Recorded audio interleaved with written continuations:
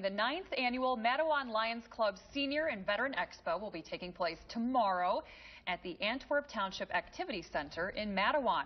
This morning, Senator Tonya Schuitmaker, Representative Aric Nesbitt, and Senator Margaret O'Brien will all be co-hosting this event. Good morning to all of you. Good morning. Good morning. So this has been going on for quite some time, Tanya. Tell us all about it. Well, it first started with Senator George when I was a state representative, and we teamed up with the Mattawan Lions Club, and this is the 10th year. So every year keeps getting bigger, keeps getting better, and you have more vendors this year. Tell us about the new vendors, Margaret. Well, we have over a hundred different businesses and organizations. In fact, the first year we had to have a waiting list.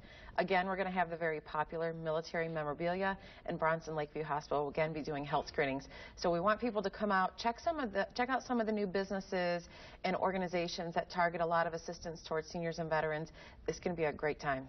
So one question people may have is, how do I get there if I have transportation issues? Aric? Yeah, if you don't have way to get there in transportation-wise. If you live in Kalamazoo County, call the Kalamazoo Metro Transit, give them the address. If you live in Van Buren County, call the uh, Van Buren uh, Public uh, Dial-A-Ride, and uh, they'll be give them your address. They'll be happy to pick you up. For, for free. free. For free. For so free. there's no excuse not to come out. And I hear too that there's a free lunch involved. Free lunch and goodie bags. All right, gotcha.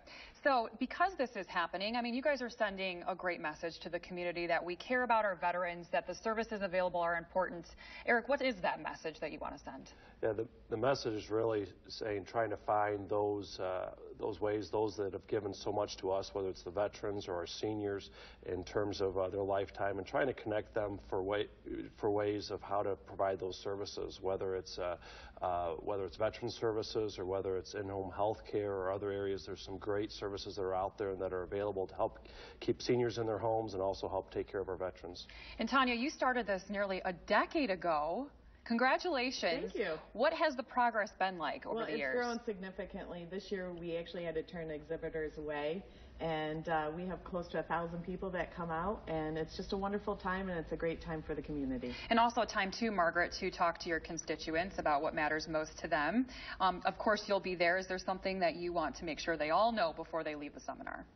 Well, it's really important that they be able to connect with us, get their questions answered, and if they realize they have questions today or even afterwards, they can always reach out to our website at seniorandveteranexpo.com.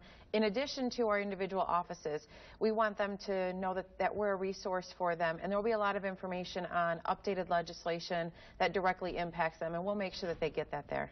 All right, so this is happening tomorrow, Monday, at Antwerp Township Hall. For more information, of course, you can head to our website. That's wwmt.com. Thank you to all of you for joining us this morning. Thank, Thank you. you so much for all of your service as well.